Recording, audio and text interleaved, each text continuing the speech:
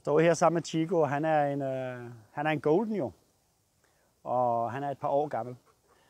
Og han er super stresset, og når jeg siger super stresset, så er det fordi, der er blevet kørt øh, legetøj på ham, som han, øh, og jeg har prøvet at vise ham noget, så han, du ved, han bliver helt øh, med pinde og sådan noget, ikke? lige snart jeg viser ham det.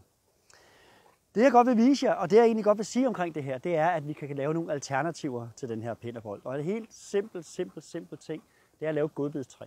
Lige nu der har jeg puttet en godbid over i næsen på træet der. Ja, en træ har ikke nogen næser, vel? Men der er sådan en javertus, der stikker ud, ikke? Og jeg vil jo gerne have, at han kigger på mig, for at få lov overhovedet at komme hen og tage den her godbid. Og det er noget, vi har etableret i stedet for. Nu skal jeg prøve at vise jer, hvordan at det egentlig ser ud. Og det er jo ikke bare en ny leg. Der er så mange ting i den her leg. Der er jo indkald, der er altså hjemkald på, at hunden skal komme tilbage. Den skal også søge, og den skal søge op i, i, øh, op i luften, og ikke bare nede på græsset, du ved, hvor vi kaster en masse godbidder, som er fornemt. Den skal arbejde. Og samtidig så kommer den på et indkald, og det vil sige, at jeg får en værdi. Jeg begynder at lave nogle lege med hunden. Nu vil godt vise jer den her. Og egentlig, at det er, at han skal kigge på mig og min flade hånd, ligesom at sige, for det er den, jeg sender ham afsted med. Jeg tager den ned omkring hans hoved øh, i den højde, hvor han er. Så derfor vil jeg gerne have, at han kommer også sidde. Kom. Så jeg får ham ned, og så gør jeg det her med hånden. Skal I prøve at se? Når han altså kigger. Søger. Ned i hans hovedhøjde. Ikke? Der. Der klikker jeg ham med munden. Går baglæns og beder ham om at komme tilbage og sidde. Sådan der. Kom plads. Kom. Kom plads. Kom plads. Kom. Han er ikke god til det, men øh, det er sådan der, dreng.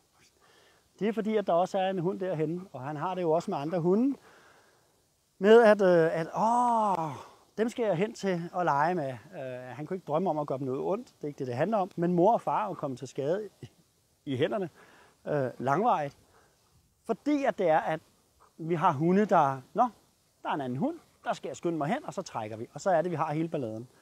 Så nu sætter jeg noget, der er større, og har altså i hans verden op på vægtskålen, hvad er størst, og være sammen med en anden hund, eller begynde at lave den her godbidslej.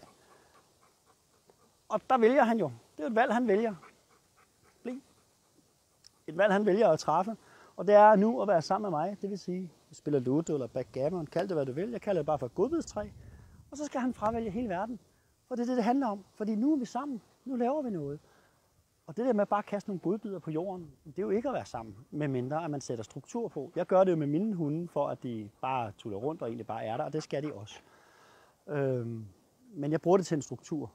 Jeg gør det ikke bare for at gøre det.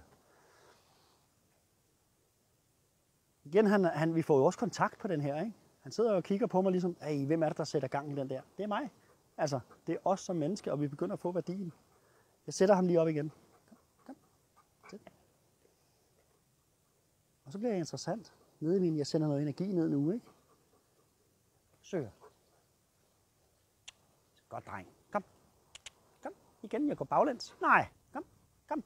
Nej. Ja, fint. Det er godt. Sæt. Godt. Så vil han gerne trække derhen, og så trækker jeg bare kommandoen. Nej. Lad være med det. Det er fordi, at der er lille Sepp, han er lige bagved fotografen, ikke?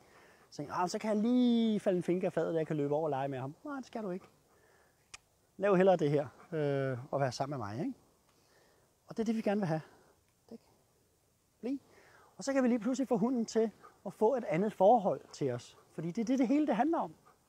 Hvis din hund skal gå pænt med dig, hvis din hund skal gøre noget for dig, sammen med dig omkring det her, så er I også nødt til at have et forhold. Sådan er det, og det skal bygges op lige så stille og roligt. Og det er det, vi gør. Så øh, nu leger jeg den her leg lidt mere med ham, og så kan I andre jo øve jer på den derhjemme. Sæt. Bliv. Og I kan godt høre, at der var både en sit og en bli i den der. Og så er der pludselig også et afstedsendelse og et hjemkald og et på plads. Så der er mange øvelser i den samme øvelse. Så god fornøjelse.